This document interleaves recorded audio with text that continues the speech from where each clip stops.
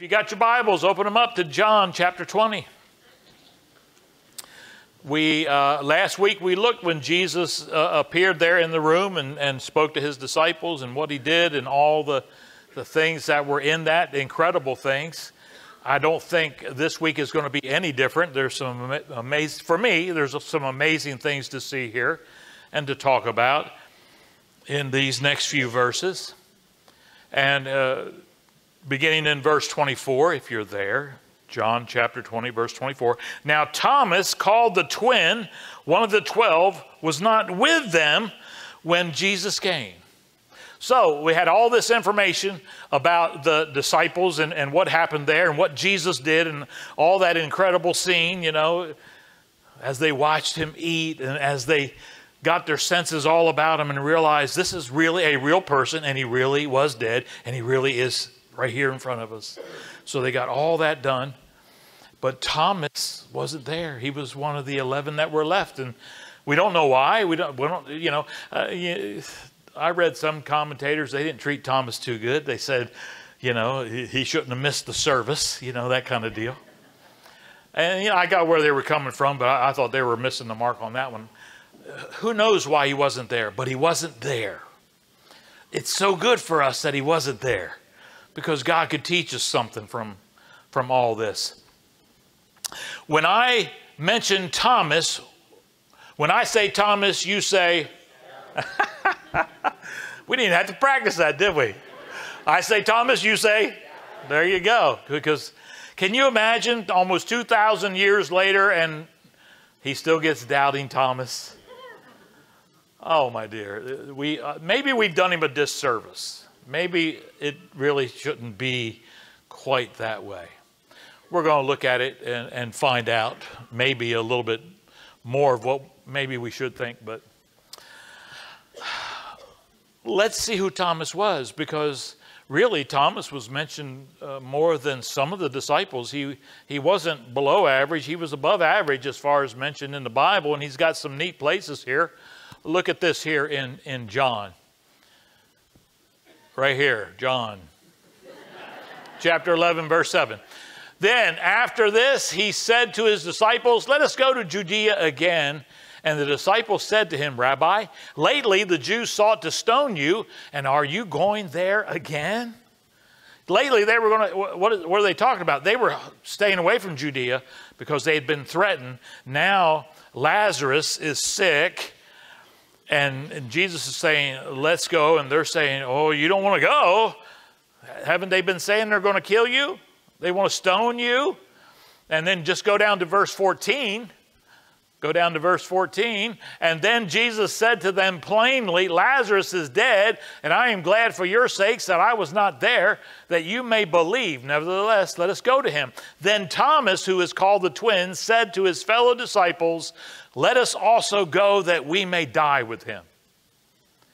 That is a moment that John remembered and put it in the gospel. That it was Thomas who said, Guys, if he's going to die, let's go die with him. So, so he was no scaredy cat. I don't think he missed the meeting because he was afraid to go outside. I, we don't know why he missed, but, but he has some courage here.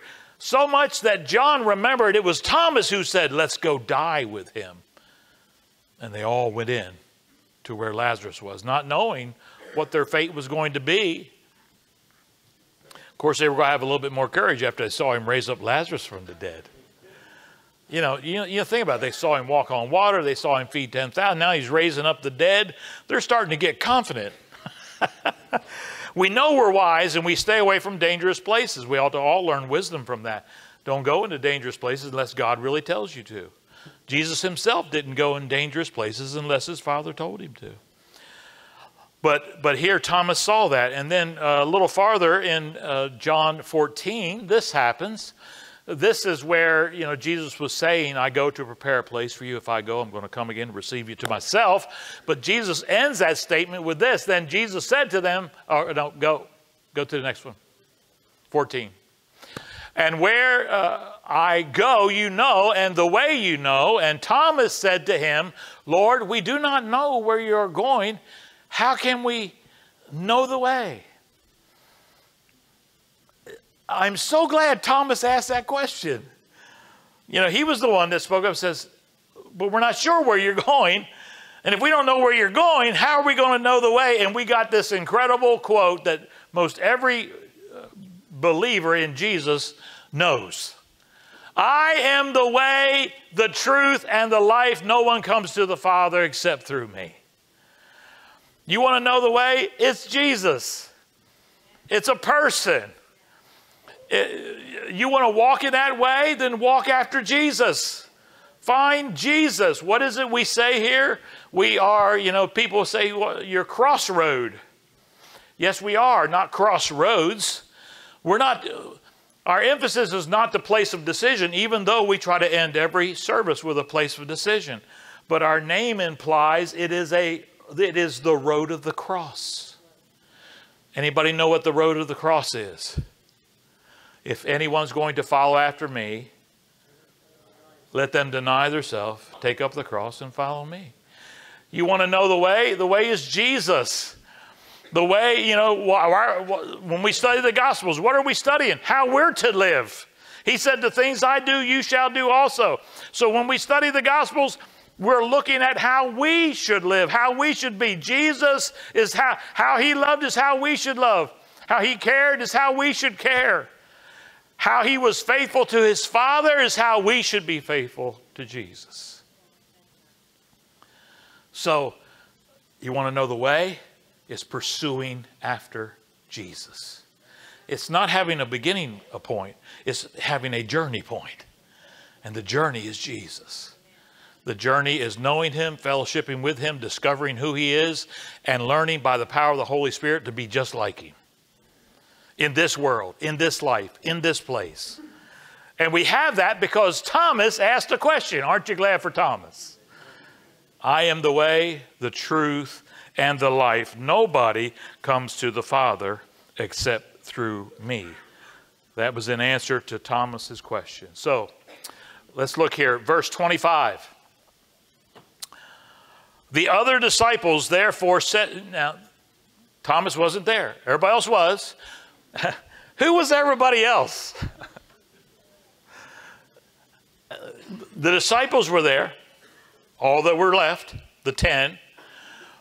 Uh, the Bible says the two people that went on the road to Emmaus, after they got done, they said, We must go back and tell them. And they went to tell them and say, Hey, we saw Jesus. And it says, Oh, yes, the women did too, and so did Peter, and so did Mary, according to John, had her own personal visit. And, and so you got the, the, the people on the road to Emmaus, you got all 10 of the disciples and whoever else, and you had all who knows the number of women that, that saw him. Mary herself saw him. So this is all the people that saw him. And then verse 25 says, The other disciples therefore said to him, to Thomas, We have seen the Lord. And, and, and the word there in said is, is implying in the Greek that it was many times, which I get it you know, there's 10 disciples, many women, and Mary and all, and they all just kept telling Thomas of what they had seen. So it's like, Hey, hey, Thomas, I saw Jesus. We saw him. It was this way. Oh, yeah, we saw him at the tomb. Oh, yeah, I had a personal visit. I thought he was the gardener. Oh, yeah, we were walking down the road to Emmaus, and, and when he blessed, blessed the bread, we saw it was Jesus, and it was awesome, Thomas. And, and then somebody else said, Yeah, let me tell you my side of it, and how I said, Let me tell you the view I got. And we watched him eat, eat fish and, and honeycomb, and it was awesome, Thomas. And Thomas is going, Who am I? Chopped liver.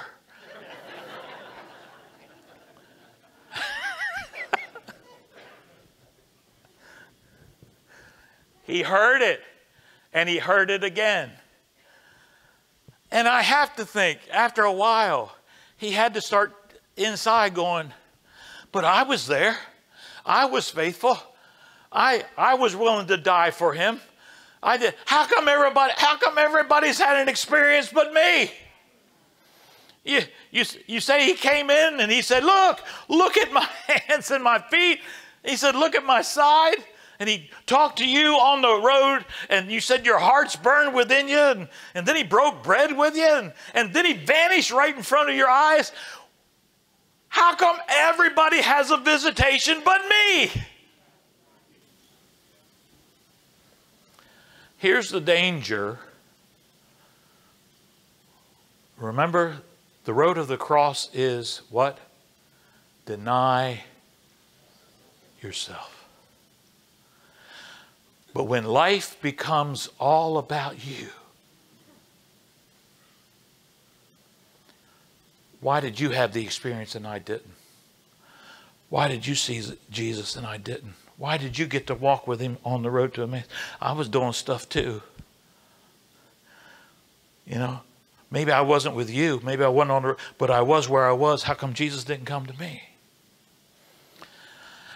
And when you start making your life about you and not about him, you start changing your direction.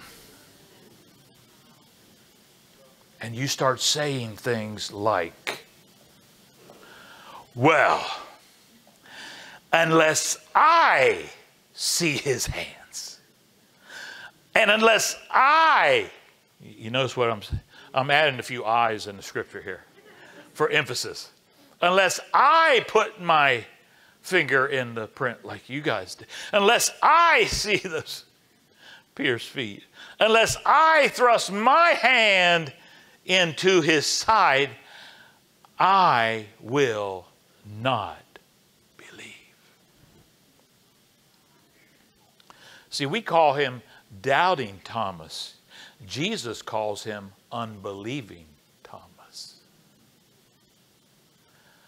A skeptic you can deal with. A skeptic is open, but, but an unbeliever has shut himself off. So think about it. Thomas puts his own self in his position based on his wants and his what he thought was his needs, and he ends up giving demands on Jesus. Jesus, I'm not going to believe unless you do it this way. I'm not going to believe unless I touch, eh, you know. And so what happens? We're going to see a, a separation of days, and Thomas is going to be stuck in a rut for eight days. Eight days he's going to be stuck in a rut because of unbelief. Eight days because of self. Everybody else is, I, I bet you everybody else, they're talking, sharing. Don't tell him, he's all upset. But they're talking to one another and they're searching maybe scriptures, maybe they're talking over things. Maybe that sermon that Peter's going to give is already starting to build because now it's all starting to make sense. Remember when Jesus was there, they got the Spirit to understand the scriptures, and I think they're talking about what they've been comprehending. And who's out of it? He doesn't even believe because it's, it's got to be his way, his experience. How much of us? You know, Lord, I'll serve you if you do something big for me. I'll serve you. You know, I heard some brother said Jesus showed up in the room with him. I'll, I'll serve you if you shock me like that, Lord. How many times have we said, we'll be a better Christian, we'll be a better disciple, we'll, we'll be a better follower, we'll carry that cross better if you'll just do some kind of neat thing for me? Boy, it got quiet in here. Some of you, I think you remember what you said. See, that puts you where Thomas was. I'll serve you if you do something for me, for my flesh. And Thomas is going to hold back believing based on he's coveting what they had. He's upset at Jesus for not coming to him. And he can't shut his emotions off. They're so happy, and why am I left out? And it made him come out with this statement of unbelief. He began to put himself on dangerous ground. Doubt says, I cannot believe it, but unbelief says, I will not believe it. That's why a doubting Thomas was different than an unbelieving Thomas. Thomas, the unbelieving Thomas, said, I won't believe it unless Jesus does for me what he did for you.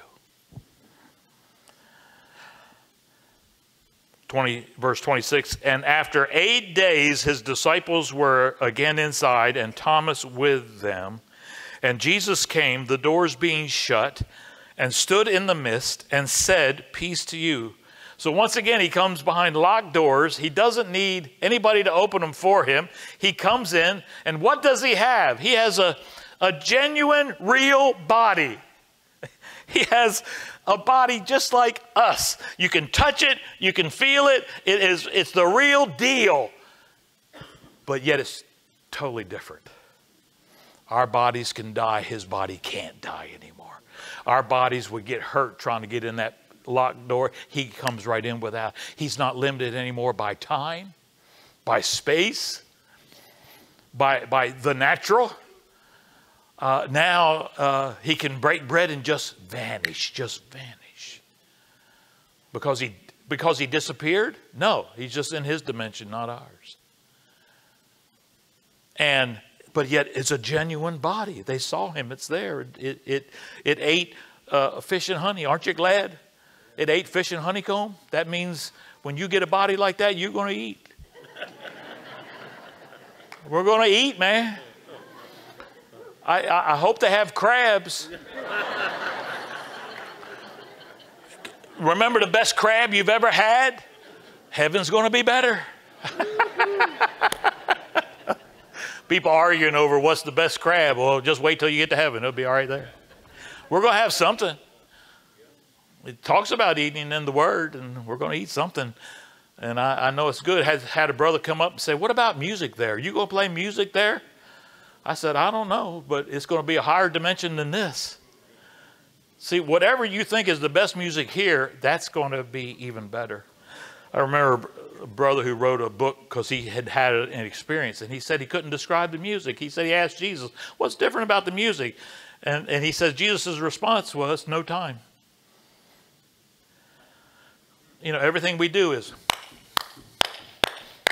based on time. Well, what would music be like in eternity? What would music be without time? I don't know. So if I am a musician, it's going to be better than I'm doing now. it's going to be in a higher dimension than we do now. It's going to be better. So he says, Peace to you. And then he said to Thomas, Reach your finger here Look at my hands. Reach your hand here and put it into my side.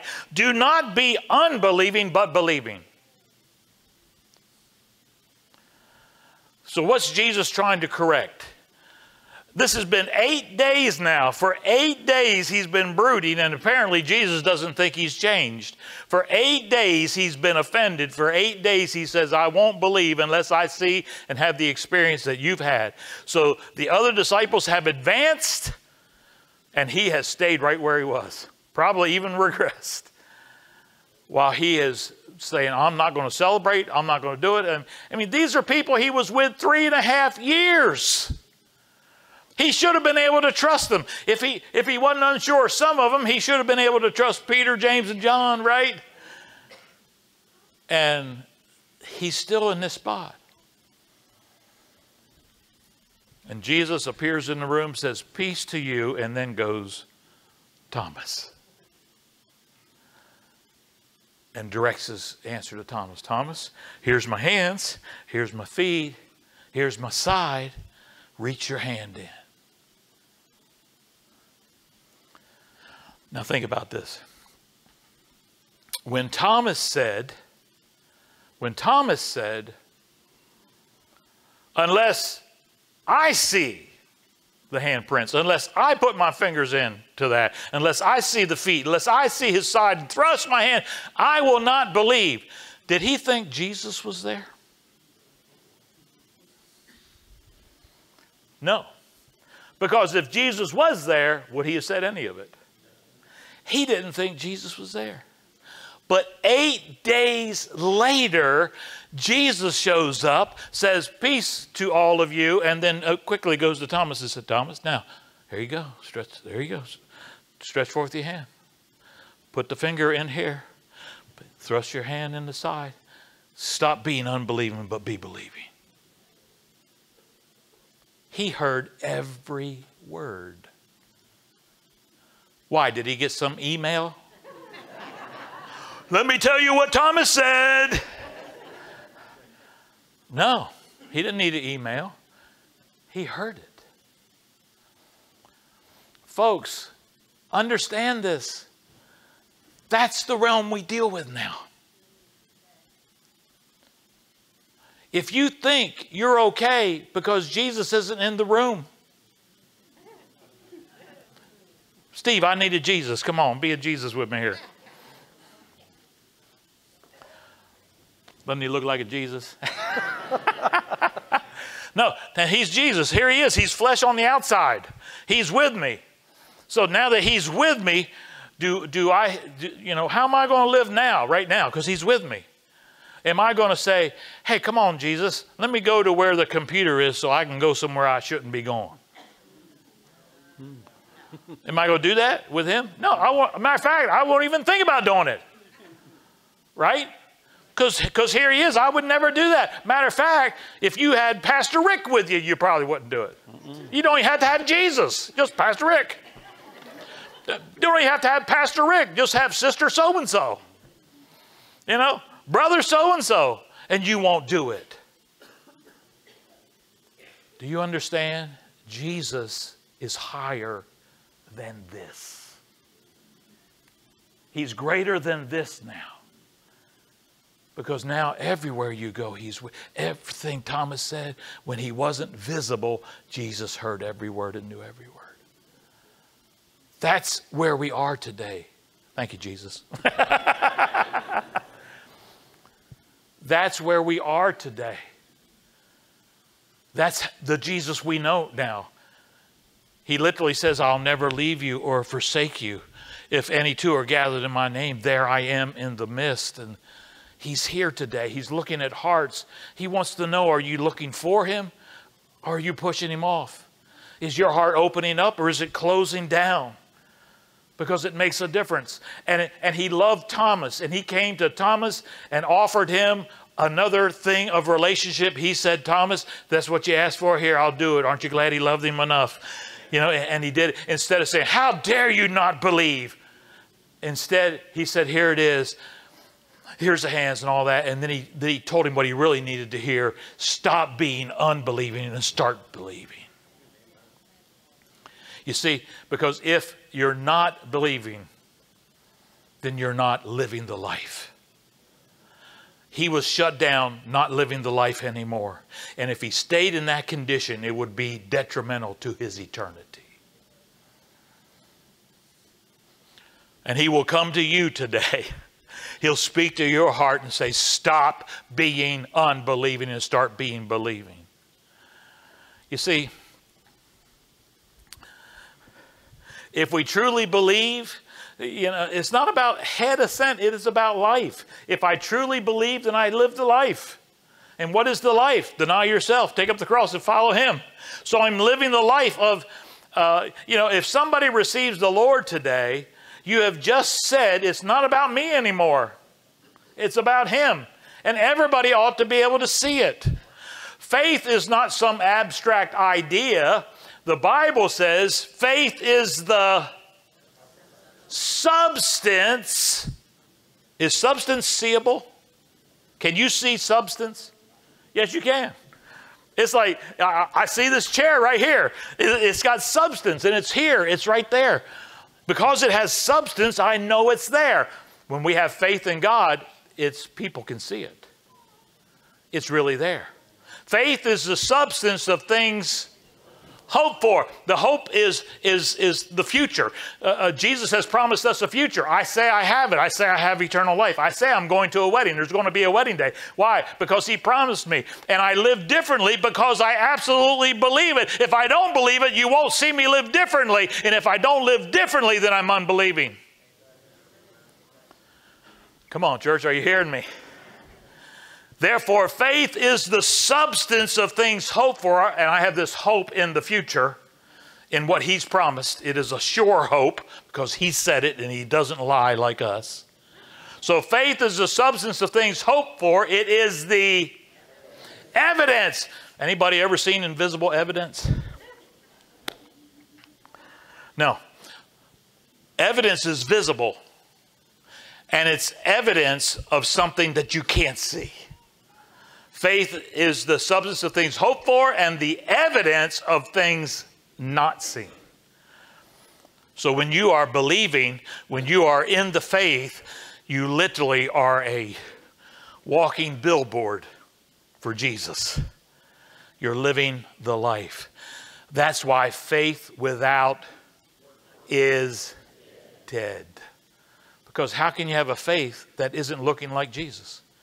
He said, The works I do, you shall do also. The, how I'm doing it is how you're going to do it. Why? Because I go to the Father. I'm going to send forth the Spirit, and you can start living like I live.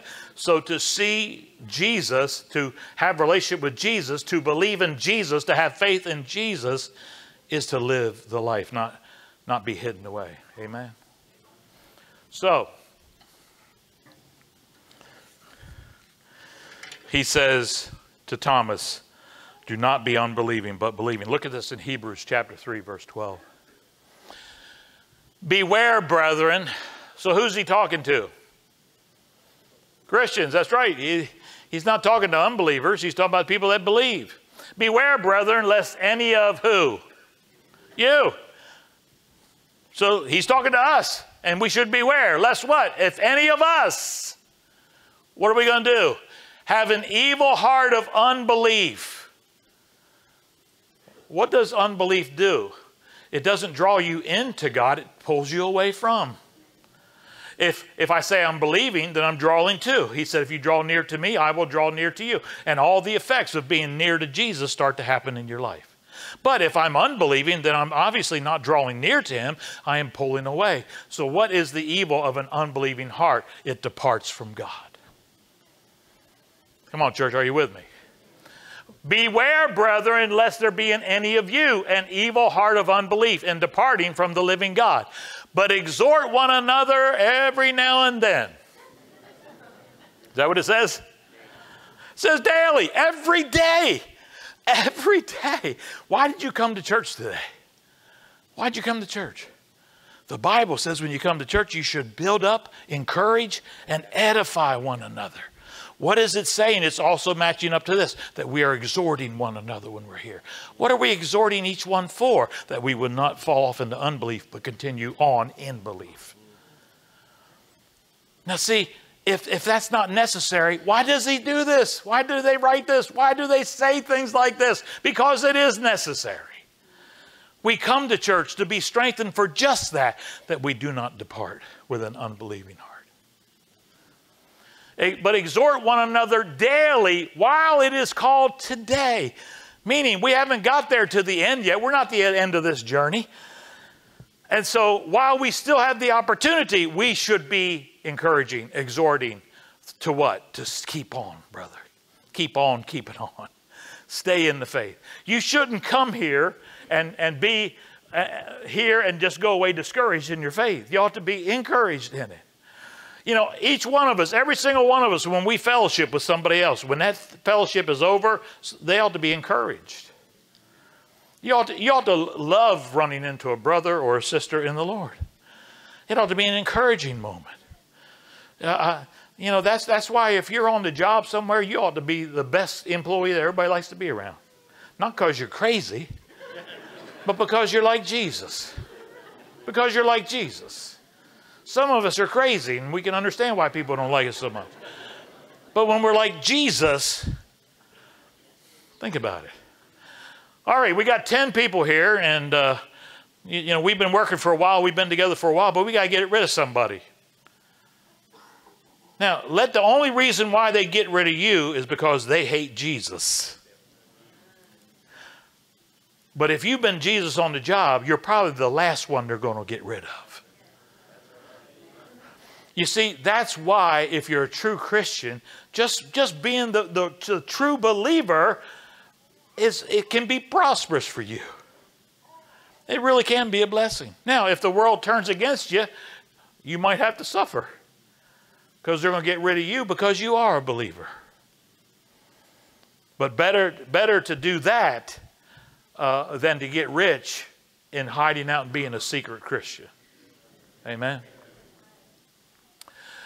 But exhort one another daily while it is called today, lest any of you be hardened through the deceitfulness of sin. Why, so why do we exhort? Why do we build up? So that sin doesn't get its place. Because when sin does, you start to be an unbeliever. Isn't that amazing? That when you're not doing the things Christ would have you do, you start to step into the realm of unbelief. What does it say? Brothers, let's, let's get off that sin that so easily besets us. See, it's just a standard for our life that we are becoming more righteous. It's just a standard. It's, it's the way it is. We're walking with God. If we're going backwards, we're stepping into unbelief. Yeah, don't shout me down when I'm preaching good. Watch this, verse 14. For we have become partakers of Christ. Isn't that good? We have become partakers of Christ. That is a positive statement to the affirmative. Why is that? Because Jesus made a promise to us. He said, I am faithful to my promise. There's only one problem. We also have to be faithful to ours. We had a wedding here yesterday. And it wasn't that one of them was faithful and the other was unfaithful. The wedding happened because both were faithful to each other. So when it says, we have become partakers of Christ, how's that going to happen if we don't have a wedding day? Let's get back to the, to the body that we don't have. Jesus appeared in that room with a body that we don't have. It can't die anymore. It can go through walls. It's not limited by time or space. It's not going to get sick. It's not going to age. He had this new body, right? Well, how can he have a wedding day with us? He can't. Until when? Until we're changed to look like him. Because you can't marry something that's not like you. Correct? You, er, you, get married within your own kind. And until we are resurrected, we can't have a wedding day. And so the promise is about partaking of what Christ has, which is that new body, which is the, his Father gave him a throne. He's going to give us a throne. When? On the wedding day. When's, when are we going to rule like he rules? On the wedding day. When are we going to get a scepter? On the wedding day. When are we going to live in his house? On the wedding day. When are we going to get a white horse? On the wedding day. Go get a white horse like his on the wedding day. And so we have become partakers of Christ. It's talking about the wedding day. Watch. If. Oh, we don't like the if.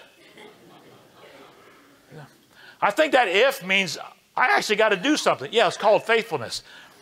He's not going to tell you all the glorious things and all the. He's only going to say one thing to you Well done, thou good and faithful servant, enter into the joy of the Lord, or enter into your wedding day.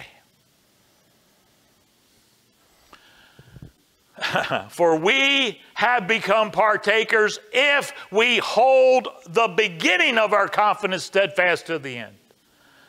Meaning, when we first said yes to Him, that we are faithful until the end. You see, because that's the true believers. You want to know who are the saved? The Bible says who the saved are. It says those who endure until the end. That's the saved. Well, Pastor, when people say a prayer here, you say that uh, they can say in faith that they're saved. Yeah. Well, in the prayer it says that I'll follow after you all the days of my life. Isn't that what the prayer is?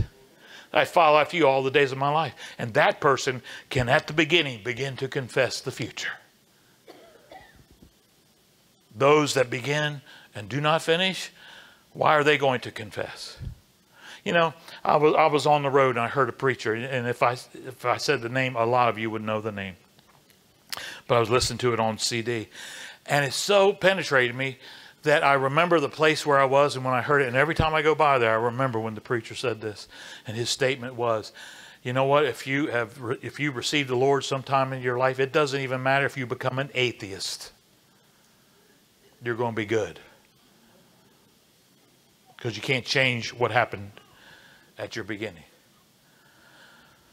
And I'm telling you, I couldn't tell you how many scriptures just rang off in my head that didn't agree with what I just heard. No more than this one. How can you? You are a partaker, and we, and we brag about it, man. Somebody loved me, and I'll tell people about it. And because they love me, I'm loving him. And in this faithfulness, we're going to have a wedding day where we're going to confess one another, you know. But to have somebody say, oh no, you could start with that, but you don't have to end with that. You can end saying they're not even there. You can end confessing that you don't even believe he's even there and everything's going to be good. Remember when Jesus said, If you don't confess me here on earth, I won't confess you before my Father? What was he talking about? Well, we had a wedding day here yesterday, and you know what the bride and groom did? They stood here and they held hands, and they made confession toward one another based on their faithfulness. They pledged their self to one another and that they would be one forever. Now, if one of them had not been that, I don't think they'd ever had a wedding day, right? And here's what Jesus is saying. He's, it's still wedding talk when he says it. He said, If you won't confess me here, if you won't be faithful to me here, then why do you think I'm going to confess you on that day? Why do you think we're going to have this confession day and you're going to have a wedding? If you won't confess me here. And let me tell you, if a brother or a sister gets to a place where they say, I don't even believe in God anymore, I'm, I'm an atheist, don't tell them they're okay. Tell them they're on dangerous ground. Tell them they need to come back to what they knew. Why on earth do we have to exhort each one daily lest we get an evil heart of unbelief if it doesn't make any difference? Come on, church. It is, it's why Thomas Jesus loved him enough to jerk him out of his unbelief. Don't get stuck in things like that. Don't let self get in the way. Push on with God. Step into believing. Follow after me. Follow after me.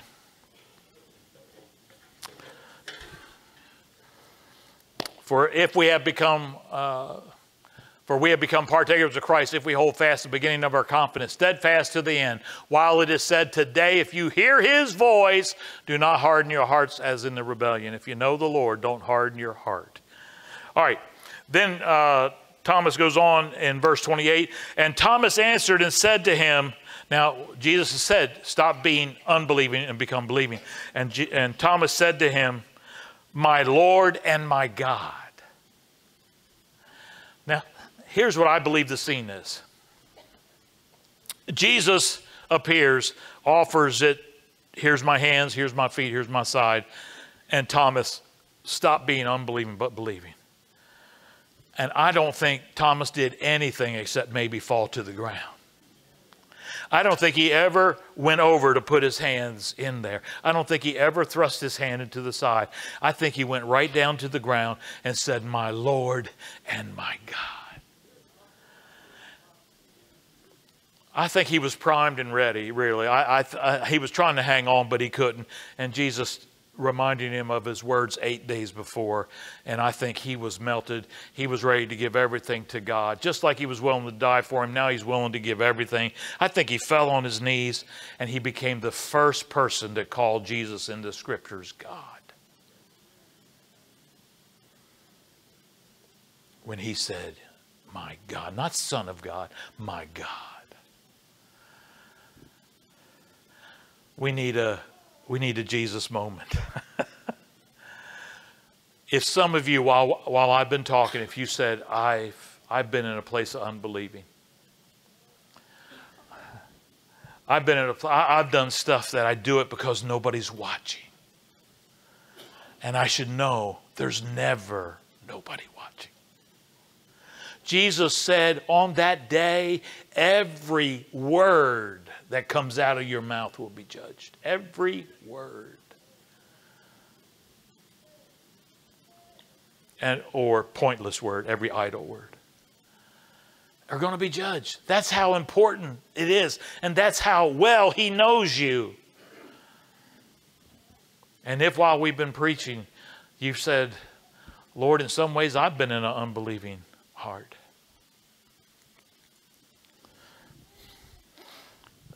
Uh, Brother Ed, I was, we were talking to you last week, and you mentioned somebody who said, if I don't know who the quote was, but now that I see you here, I could give the quote the right credit. You said that, that a brother said, if, if nothing has happened to you in your walk this week, maybe you ought to check out your relationship. Who, who was that? Okay. You, you, were, you were going through a study thing or something. So, but anyway, but did I say it accurately? Anyway, if, if nothing has happened to you this week, maybe you need to check out your relationship with God. Because why is that? Because if we are pursuing Him, we should start having days just like Him. And, and, and, and, and you know, events should be happening for us just like it happened to Him. You know, uh, Uh, we've got to come out of our unbelief and get into belief. And when we get into belief, things start happening. And you may be saying, Well, nothing's happening in my life. I come to church here, but nothing's happening. Well, maybe you're not pursuing right. Maybe unbelief is there. And maybe you just need that experience with Jesus to shake it out of you. Maybe your heart needs to say, instead of resisting the Holy Spirit, that you say, Holy Spirit, come on in. Instead of saying, Well, I don't want him to have control because I'll lose control. No, lose control to him.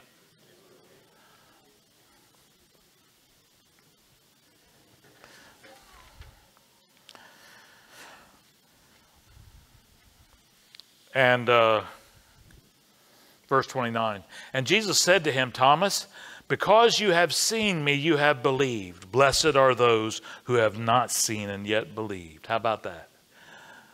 You know, we, we've heard the word. We didn't have to see Jesus. We heard the word. God pricked our heart. He said, More blessed are we than Thomas. More blessed are we.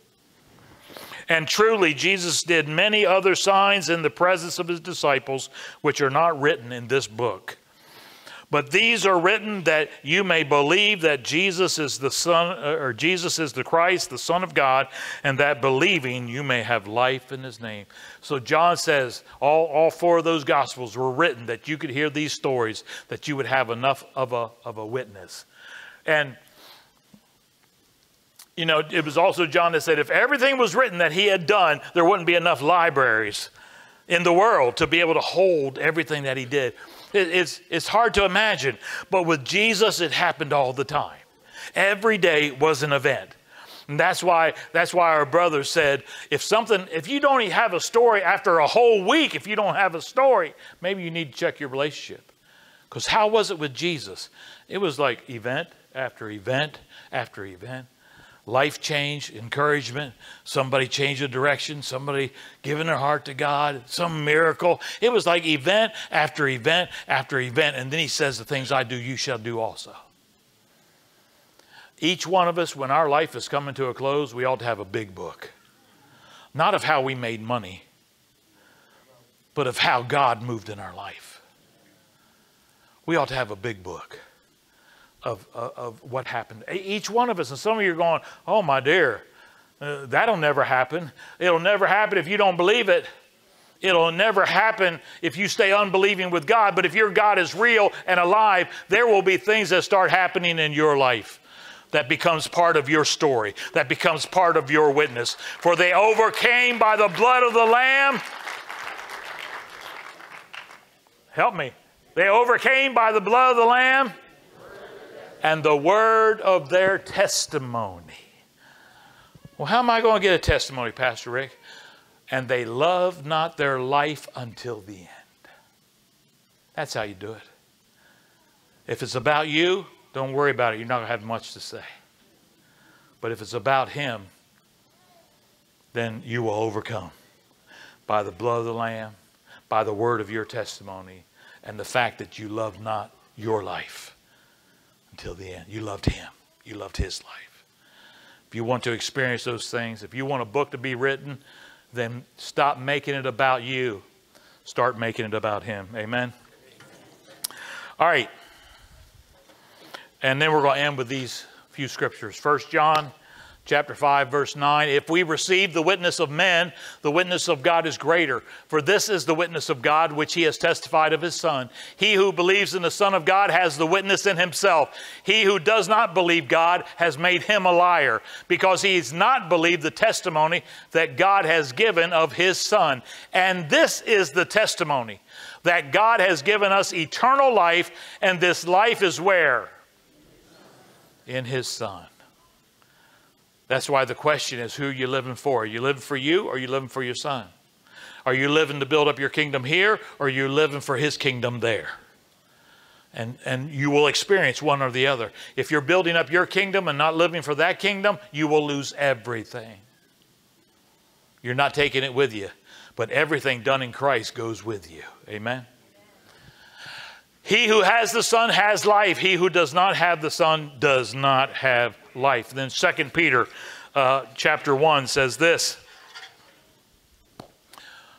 Verse 16, for we did not follow uh, cunningly devised fables when we made known to you the power and the coming of our Lord Jesus Christ. But we were eyewitnesses of his majesty. So Peter is saying, we saw it. We were there. We saw the things of God to prove that he was who he said he was, let alone the, the resurrection and, and, you know the death and resurrection. He's saying we saw things while we walked around with him for three and a half years. For he received from God the Father honor and glory when such a voice came to him from the excellent glory. This is my beloved Son in whom I'm well pleased, talking about at the baptism when the, when the voice said it. Also, at another place it was said, and they thought it thundered everywhere. So he said, We've heard this from the, the glory itself from the Father. And verse 18, and we heard this voice which came from heaven when we were with him on the holy mountain. That was the time of the transfiguration. And they heard the voice, This is my son, listen to him, hear ye him. Above everything else, hear Jesus. My brother and sister, above everything else, hear Jesus. Above everything else, put him first place above everything else, make sure you're not serving yourself. Make sure you're serving him. Amen. And then the last one is First John chapter 1. That which was from the beginning, he's talking about Jesus. Jesus was with the Father in the beginning. The Word was with God, and the Word was God. And that which was from the beginning, which we have heard, which we have seen with our eyes, meaning God Himself had come to the earth and they saw Him. They saw Him in His fleshly body, which we have looked upon and our hands have handled concerning the word of life. So they were there with him. They were there uh, uh, to tell this story. The life was manifested, and we have seen and bear witness and declare to you that eternal life which was with the Father and was manifested to us. Jesus came, was manifested to us, and we're giving you this witness. Why? So that you will step and know that he is resurrected and that you will come out of being an unbeliever into being a believer. If you're here today and you don't know Christ, then maybe God has already spoken to you by His Spirit and opened up your eyes to be able to receive that today. If you are Christ, but yet you have found yourself more like a Thomas, that in ways of life you become an unbeliever, you don't even expect to have God use you these next seven days, let alone that it would be natural and normal, then you have become an unbeliever on the path that Christ has for you. What am I saying? He says, Become more like me, be conformed to my will. The things I did, you will do also. If you have no expectancy that God will use you this week, then you have a chunk of unbelief working in you.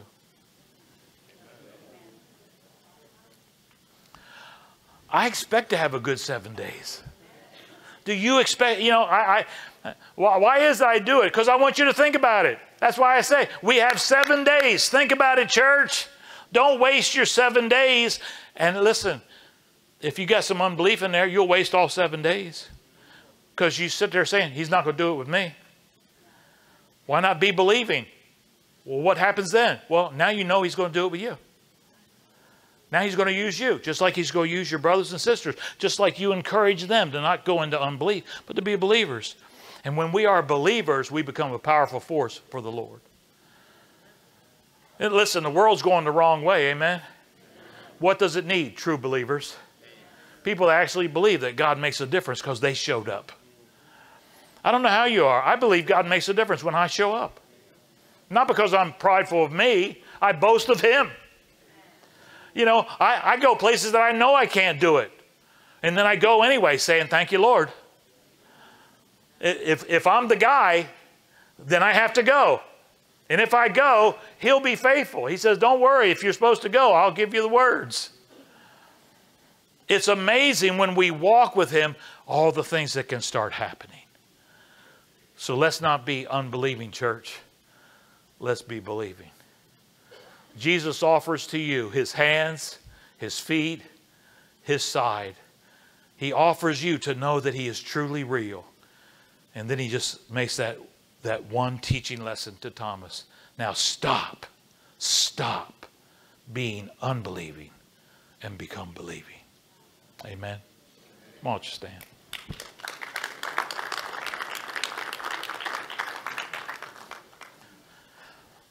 Amen.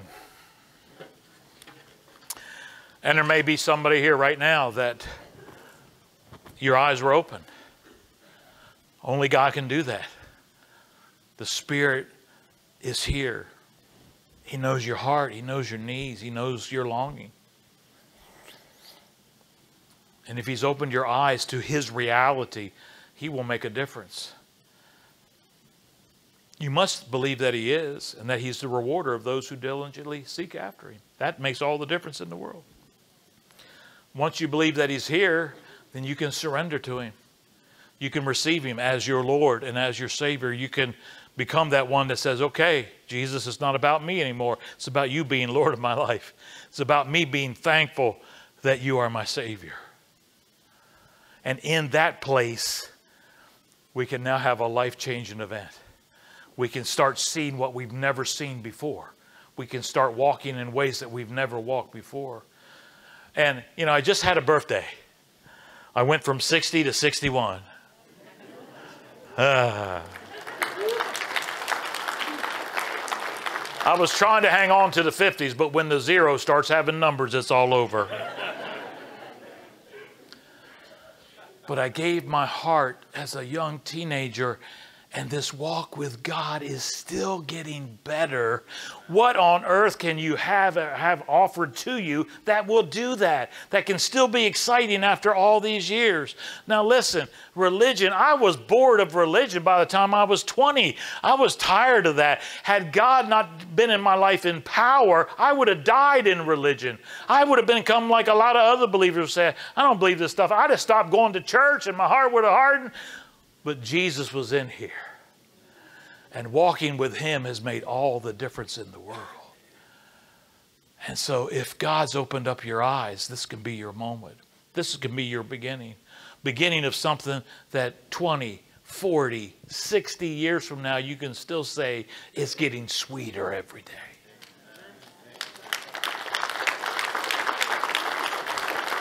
So if that's you, brother, sister, I'll lead you in a prayer of committing your heart, your life, everything to the Lord. But you have to be uh, bold. Confess Christ and say, It's me. I, I have this need of a Savior, and, and I know it today.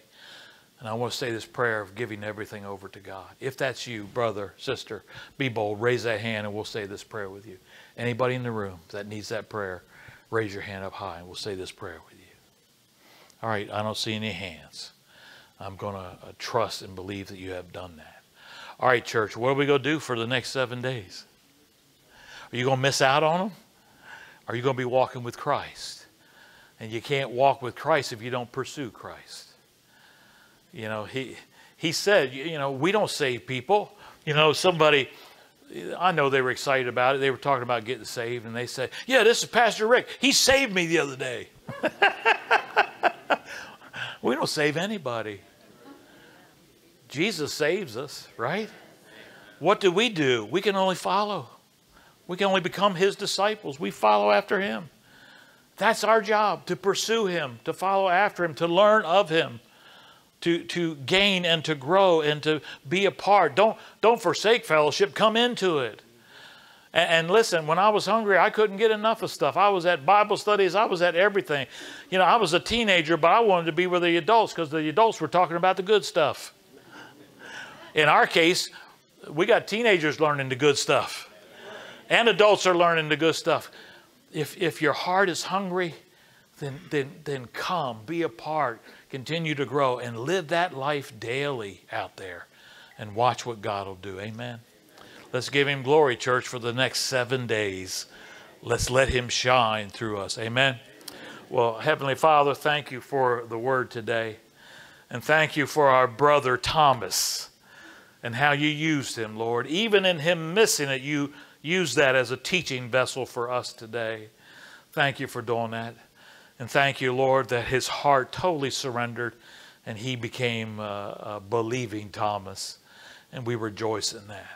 May we, Lord, be truly your disciples, your uh, believers, your followers, those that have surrendered to you, that we're not in charge of our lives anymore. You are. Lord, we, we already know there's so many places we restrict you. We say we won't do that. We won't commit to this. We, we won't yield in that. The flesh already has too many places in us, Lord. Help us to surrender those places to you. May we truly be more conformed to you when we get back here in seven days than we are today. To your honor and to your glory. In Jesus' name we pray. And everybody said, Amen. Amen.